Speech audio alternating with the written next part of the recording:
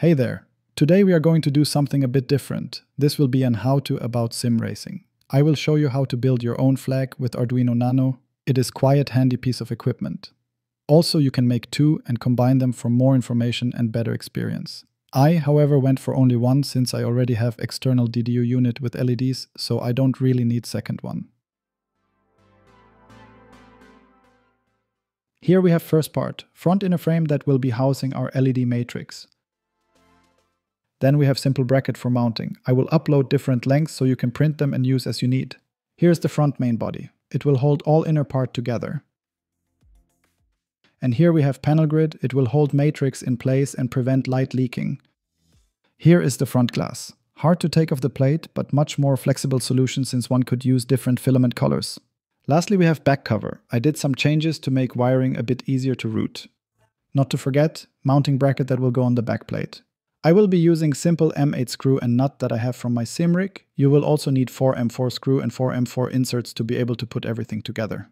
Here we have original design that I have used as a base. It is a great design, but design with some flaws. I changed few things like front frame to be more modular and flexible. Internal cutouts for easier wiring so that it is easier to route the cables.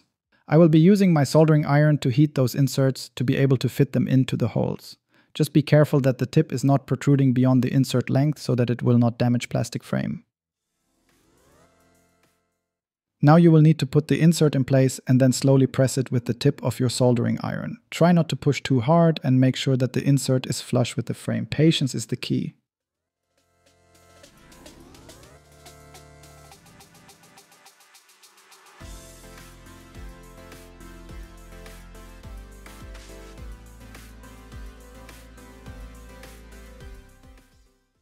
Now that you are done, just check again and make sure that everything is in place where it should be. Inserts and plastic frame should be together like one piece. Here we have my 8x8 LED matrix. I already soldered it to Arduino Nano. I went with L-shaped wiring so that it is easier to put it into the case later. Now to put the front part together, you will need to go with glass first and put it in place. After that, you can just put the LED grid into place. Now to put the LED matrix in place, you will need to make sure that the grid is oriented correctly. Protruding lines will need to be vertically oriented since LED matrix does not have any SMDs vertically. Plan accordingly before soldering your Arduino Nano. Easiest way to put the front part in place is to push the board through the lower opening and then just push the front part into the frame. After that, just place the board in place and make sure it stays there since it will be easier for back cover to fit correctly. Now you can use those 4M4 screws to put the case together. Try not to over tighten the screws since it could break the plastic. Even though I used PETG filament, it might break. Just make sure that it is finger tight and nothing more. Now we can proceed with mounting our back mounting plate. You can see that it will fit in place, but we still need to use those two screws. My advice would be to have that place in Love's position, since you will need some place for USB-C cable. Especially if you are using same M8 screw like I am, which is a bit taller than it should be.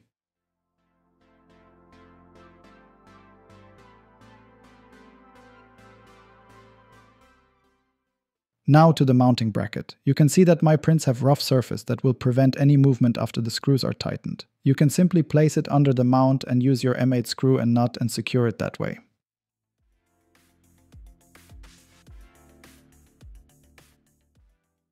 As you can see, it will hold everything in place without you needing to tighten the screw too much. You could also use a washer to spread the force evenly over the bottom bracket. Now here is direct comparison to the original. On the right we have my upgraded case and on the left is original one. It is really good design with some minor flaws that I have upgraded. Main thing for me is modular front panel. It is much easier to swap them and adjust to your likings. Now you will need to pay attention regarding this front glass part. It will be hard to remove from your build plate. Since it is only two layers, you will need to be extra careful when removing. Main body will be super easy to remove especially on rough surfaces, but not this thin part. Now, when it comes to installation onto your SimRig, it is pretty simple. You will need one alu profile nut and an M8 screw. Then make sure to insert the screw before USB-C cable if you are using Tallhead 1 like I am here. After that, just connect your USB-C cable. Now we can use M8 nut and connect it to the mounting bracket. Finger tight will do since you don't want to damage your plastic by over tightening it. Next up is SimHub software that we are going to use to configure and set up our sim flag. You will need to open Arduino on the left side and then head over to my hardware. There you can see that I have mine already configured and programmed. I will remove mine now so we can start from scratch.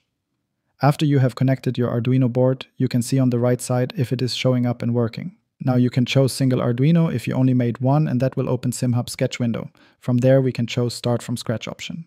Now make sure you select RGB matrix on the left side and on top right side make sure that you can see your Arduino board and that new bootloader option is selected.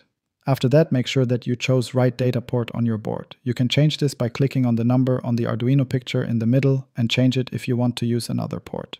Now you can accept firmware warning and upload your sketch to your board. Give it some time, and when it is done, it will confirm that upload was successful and you can just click on OK and close it. Now we can go back to our SimHub window and go to RGB Matrix, and from there you can either choose default preset or build something new. I left mine at default with some small changes. Now that we are done, you can check how it works while I gave my final thoughts. Honestly, this is great add-on to your SimRig. It was useful and fun project. Anyone that have same DIY Spark in them will enjoy building this. Depending on your installation, you can use it as extra source of information. Gears, flags, spotter, you name it. If you want to see it in action, you can check my other channel where I post only about sim racing and driving. You can also subscribe since it is a new channel and it could use your help. Thank you for watching and cheers!